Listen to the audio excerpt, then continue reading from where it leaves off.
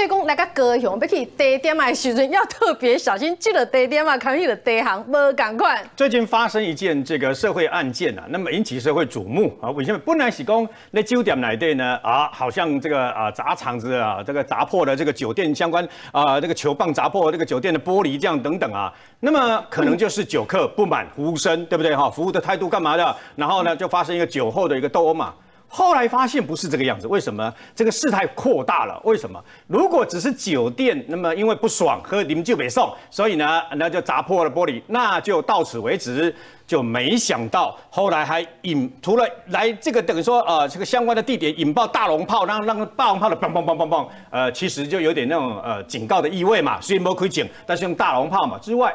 他们又去一家茶行啊，砸了这个茶行外面的这个车子，你知道吗？那砸了这个茶行外面的车子有什么问题呢？各位，原来这家茶行是不得了的一个地方啊。我下面呢，可能跟一笔这个所谓的赌金啊，是不是九百多万的赌金纠纷有关系啊？那那时候我就觉得纳闷，为什么呢？因为兄弟是带中来高雄林继伟。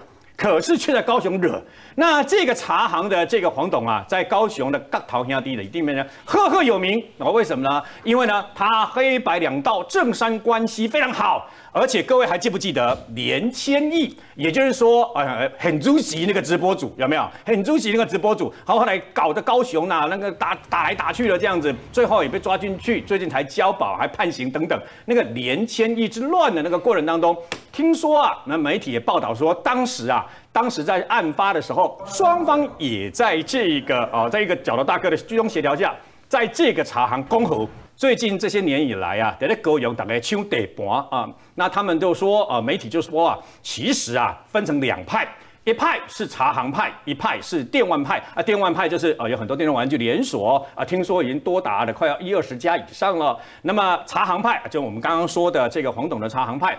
那等等等一下，这个兵哥他们可以这个补充，就是说在外省话叫做堂口，好，外省话叫做堂口的地方哈。那么在本省话叫做事不送。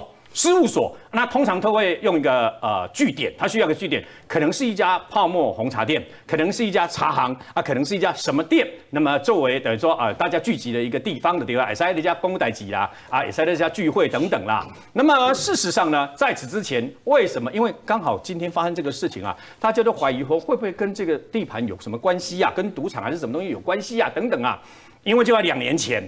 其实隶属于其中一派的人啊，那么因为马戏北宋，结果带枪去酒店寻仇，就意外被人家制服了以后，押到山上去凌虐。当时也是因为卷入了茶行派跟这个电玩派两分属不同派系，跟一个代起木杆他们就要美心刷，你知道吗？那件事情因为啊，那些那个在台湾的这个呃社会新闻上面呢啊闹得非常的大。后来呢，好像啊双方有想办法把它协调啊，把它压制下来。但是那么两年前就种下了这样的一个冲突的一个根源呐。那现在这件事情会不会使两年前那所发生的事情又因为这样事态扩大？不知道。但是警方现在最担心的事情就是，会不会再度演变成高雄，甚至于台中，就变成了冤冤相报何时了？所以现在警方就要想办法把这个气焰给全部压制下去，并且请双方的老大能够坐下来谈，不要让事态扩大。